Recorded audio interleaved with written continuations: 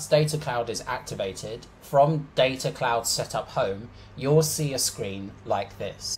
In this case, I want to connect to another Salesforce org which holds records related to the Be More podcast.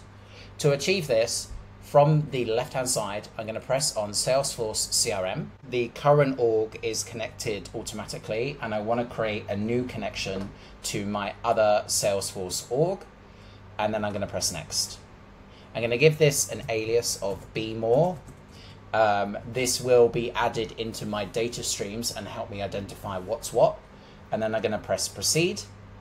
And then I'll need to log into that org and that should now be successfully connected. So you can see here that the connection's been made. It's got the alias and it's also defining the org ID as well. So now that the connection's been set up, I'm going to jump into the Data Cloud app. And then from here, I want to create some data streams which pull in information from my other org. So I'm going to press new, select Salesforce CRM, and then press next. And then from here, I need to select the org. So I want to select the Be More org. And I don't want to use any data kits here. So I'm going to press View Objects and select my objects manually. In this case, I want to grab the account object, the contact object, and the session plan object, which stores information about each episode of the Be More podcast. I'm going to press next. From this screen, you'll see the option to adjust the fields that are coming in from this data stream.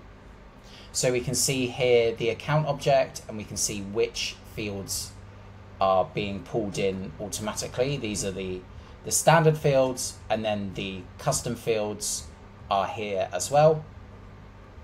You need to select an object category, which I'm just going to set as profile for now. And I'm going to jump to the contact. And again, I've got some more custom fields here. And again, I need to set an object category.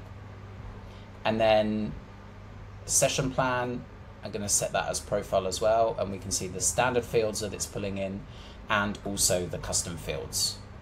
So say I'm happy with this, I'm going to press next, and from this screen I can choose which data space the information comes into. Right now it's coming into the default data space. I can also set filters to only pull in certain records, but for now I'm going to keep everything as it is and press deploy that will now go ahead and create my data streams for me in the background.